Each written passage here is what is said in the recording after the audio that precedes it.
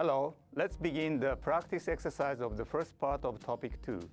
In this part, we studied basics of the data structure called array.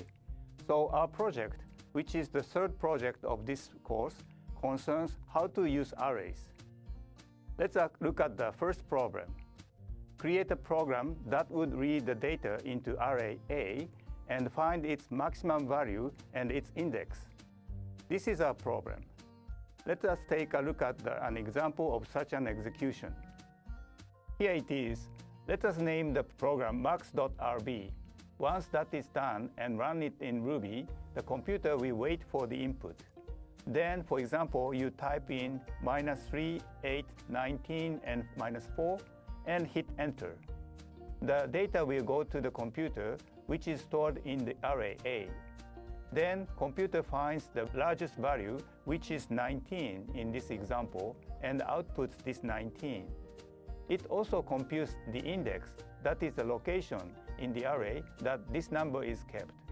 In this example, this would be from 0, 1, 2, so the second place. Thus, the computer outputs 2 on the screen. This is the kind of the program we would like to create we want not only to get the maximum value, but also its index.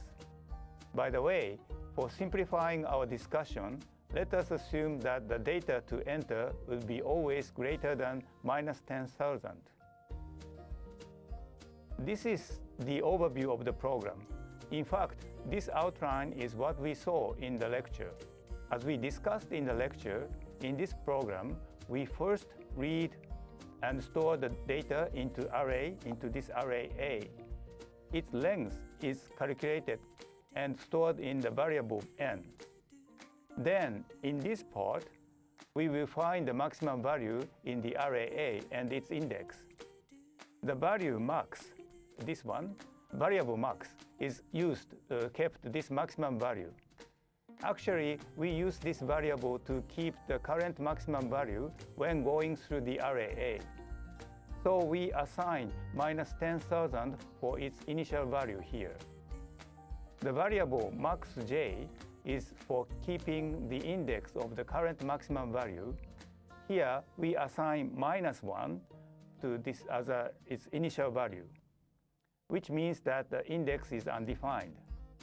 Then in this for loop, we go through the array A to update this maximum value and its index.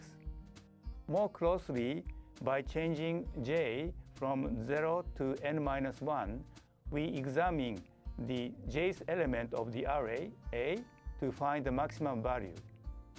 This blue part will do this task. Here is a little hint. Consider the jth iteration of this for loop. Let's assume that the variable max keeps the current max value in a0 to aj minus 1. That is, it is the current champion. Then we compare the value of aj and this champion.